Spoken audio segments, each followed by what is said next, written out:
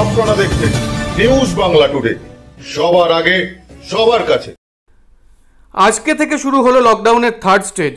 গত বিশে এপ্রিল সল্টলেক তথ্য প্রযুক্তি নগরী সেক্টর ফাইভের অফিসগুলিকে কিছুটা ছাড় দেওয়া হয়েছিল। সেদিন খুব কম সংখ্যক কর্মী দেখা গিয়েছিল। করোনার আতঙ্ক এখনও কমেনি। প্রত্যেক দিন লাফিয়ে লাফিয়ে বাড়ছে আক্রান্তের সংখ্যা। সল্টলেক সেক্টর ফাইভ তথ্য প্রযুক্তির অন্যতম গুরুত্বপূর্ণ জায়গা। কিন্তু বেশিরভাগ ক্ষেত্রেই ওয়ার্ক ফ্রম হোম করা থাকলেও কিছু কিছু অফিস খোলা হয়েছে।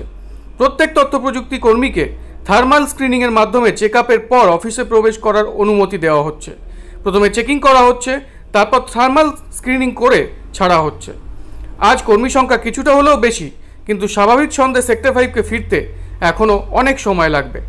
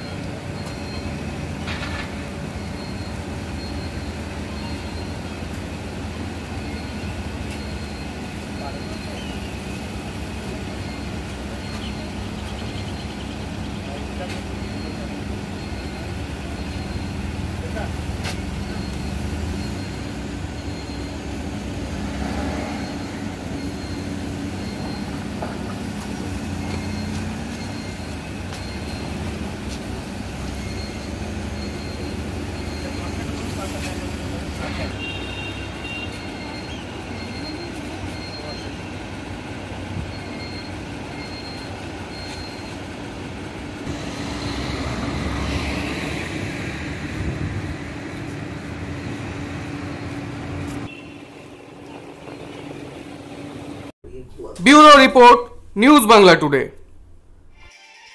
আমরা আসছি নতুন রূপে, আপনার শহরে।